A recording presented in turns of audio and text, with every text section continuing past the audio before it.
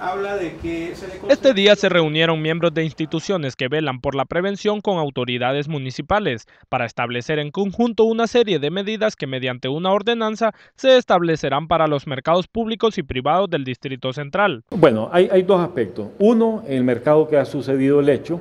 Hoy nos reunimos con el ministro Tito Cardona de CEDIS, con eh, el jefe de cocina de la misma y el presidente de lo que es la Feria del Agricultor y están de acuerdo que se cambie eh, la cocina, el, medio de, uso del gas LPG a lo que es el tipo de ecofogón. Ya, ya se da por, por, un hecho de que en la Feria del Agricultor vamos a utilizar lo que se llama eh, ecofogones.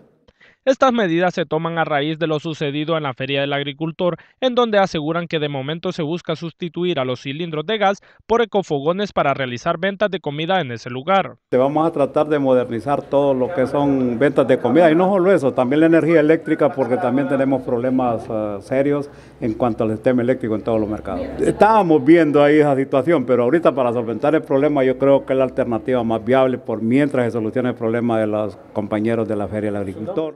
Miembros del cuerpo de bomberos le hacen un llamado a los vendedores para que sigan las medidas que estarán siendo socializadas el día de mañana después de una reunión preliminar y las debidas inspecciones. En primer lugar vamos a hacer a socializar lo que es el, documento de los, de los 23 mercados, ¿verdad? que se van a hacer las, las inspecciones, pero le vamos a dar prioridad pues, al, al, mercado del, de donde sucedió el problema, sistema eléctrico, ¿verdad? Que los accesos del, del, donde nosotros tenemos nuestros equipos para abastecimiento de agua estén libres, ¿verdad? Los accesos, ¿verdad? Que sean los adecuados y otros por ahí, pues, que consideramos nosotros importante que consideramos que puedan minimizar los riesgos en los mercados.